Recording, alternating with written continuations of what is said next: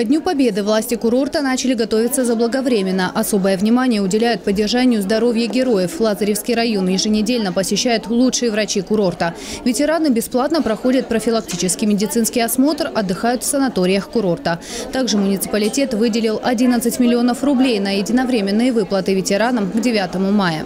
Я принял решение о том, что каждый участник э, боевых действий Великой Отечественной войны получает 5 тысяч рублей, единоразовый платеж.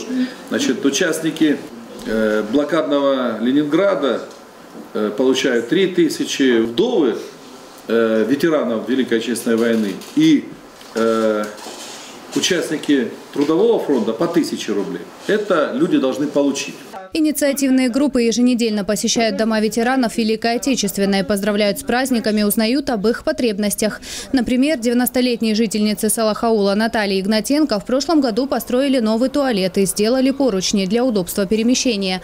Наталья Ивановна вспоминает, глядя на пожелтевшие фотографии, 17-летней девчонкой убежала на фронт, принимала участие в освобождении Кубани от фашистов.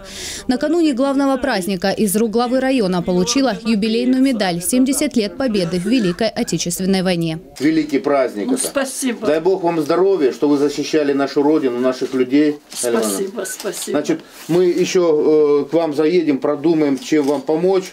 Побывали сотрудники администрации в гостях и у Владимира Бойко. Во время войны он был снайпером, прошагал пол Европы, встретил победу в Берлине. Ветеран рассказал о фронтовых буднях, как освобождали Рейхстаг. Сколько там наших солдат легло. Погибло, да? Ой, что. И вот меня там... Когда брали Рейхстаг, да? Да, Рейхстаг вот были. Я перебегал, разорвалась аж мина. Меня ранило вот, а один погиб и второго, понимаешь, ранило. Несмотря на преклонный возраст, многие ветераны до сих пор в строю занимаются военно-патриотическим воспитанием молодежи, проводят уроки мужества с подрастающим поколением. Татьяна Нагорская, телекомпания «ФКТ».